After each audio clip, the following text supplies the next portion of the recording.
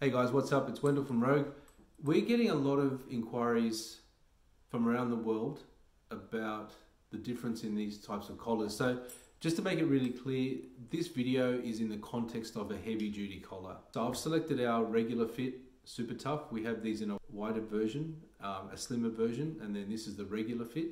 Um, and this is a style that's going around at the moment. Um, it's got the Cobra buckle and, you know, looks like a pretty cool collar.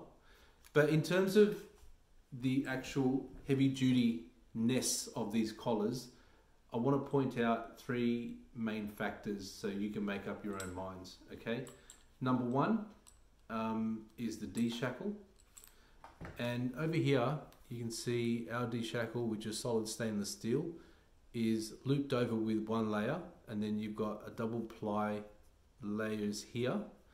So if that was to break for whatever reason, this would still be held by this. So that breaks, it doesn't fly off, it's caught here. So you're still attached. Collars on the dog, leashes on the D-shackle, and it's still hold. After 12 years, we've never actually had that happen, but it's engineered to be overkill, and it's an extremely safe setup, very simple in design, but it's amazing. It works really well if it had to work, okay?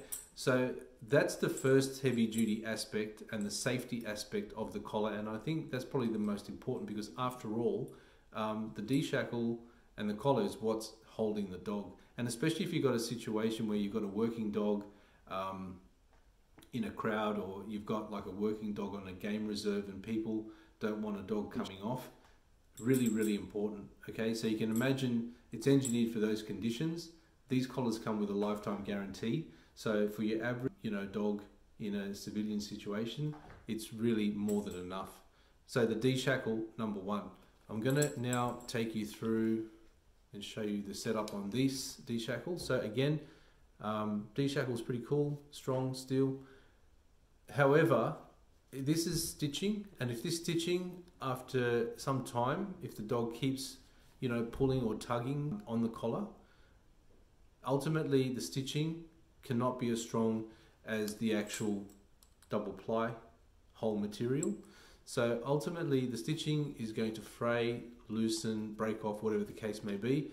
This will simply tear off and that's going with it. So it's really not that strong. The handle's a little bit, you know, flimsy. And no disrespect, but again, this video is for customers who want a heavy duty collar, okay? So that's something to research and consider just the architecture of how it's set up. And again, on a photo, you know, you may not pick that up, but it's really important to understand that. There you have it close up, okay?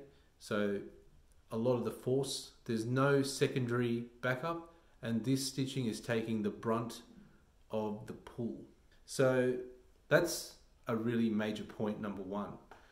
Number two, it's quite heavy, um, but you're only as strong as your weakest link and you've got two pins here and we've had customers who've come in or contacted us they want a really heavy duty collar again which is why I'm making the video and these two pins have been known to break whereas in 12 years um, we have a double pin buckle it's not as heavy so actually gives you a better balance it's just heavy duty in the right places so these two stainless steel um, needles buckles um, really are very strong.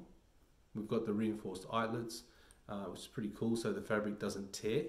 And we've never ever had one of these break in 12 years, so they're very, very strong, okay? And there's videos on YouTube that show these lifting like a 500 kilo Ford motor.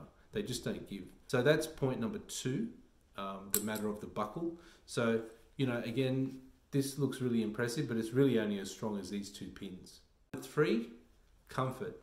So if this is an everyday collar um, and your dog's wearing it around, or even if it's a, a, a collar for your a working dog where it's lunging or you know might be back tied, if you want to listen to this, um, you know you're not going to be doing that to the dog's neck, but it's just really for the purpose of the video. Um, that's okay. Like it's a soft fabric, really strong, but it's soft. Whereas this one, You can try this yourself and see how it feels. Um, that doesn't feel great on on the bone, you know. So you've got this um, coming up against the neck, so it's steel on the skin, whereas this one is just a smooth fabric. There, there's a little bit of metal here, but it's very smooth and very rounded. But the majority of the contact is the fabric, whereas this one, that's a lot of steel exposure, and you've got little nooks and crannies there. So if you've got a dog with jowl and things like that, um, it can get caught and can pinch. So three points about these two products. Again, it's not you know it's not about throwing shade on a product. It's just helping people make an informed decision. Do the research for yourself. Try it out, like I've done, and um, and let us know. Love to hear your feedback. So thanks, guys. Hope this has helped when you're making that decision, and um, take care out there. Cheers.